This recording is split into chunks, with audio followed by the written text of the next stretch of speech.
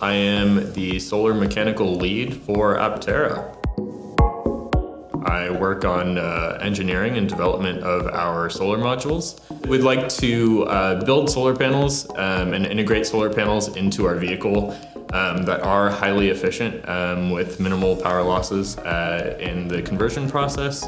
These panels will be experiencing a number of environmental conditions that many modules will not face. Your standard modules that go on homes, you know, will not experience the uh, vibration, for example, that uh, you'll experience in a vehicle. So we need to make sure that our panels are uh, robust to the environmental conditions that they are experiencing um, while still remaining highly efficient.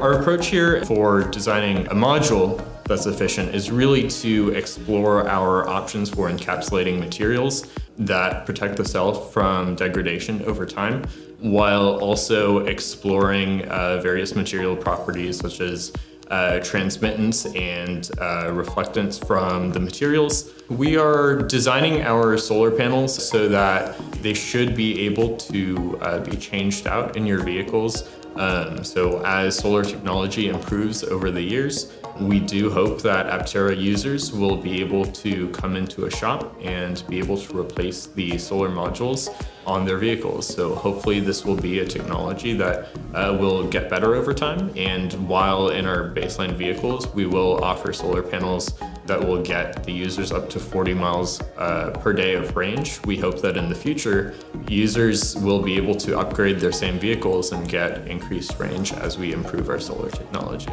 I think our biggest challenge really is making the trade um, between reliability and durability of these modules and efficiency. The design of solar panels that um, match this compound curvature of our vehicle really hasn't been done in industry before. Um, so we are doing something new by tackling this challenge. In our case, there, there really is no textbook or resource out there that can teach us how to do this. We, we have to tackle the challenge with uh, with our own R&D in-house and um, figure out how, how to make these panels you know, fit our application for the long term.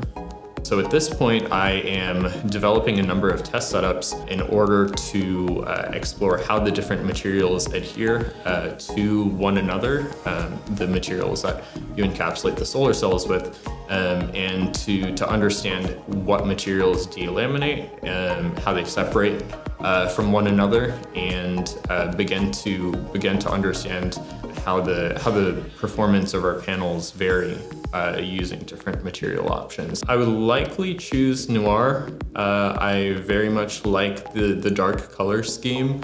That's something that I, I find really cool and sexy, um, and that's probably the vehicle I would go with.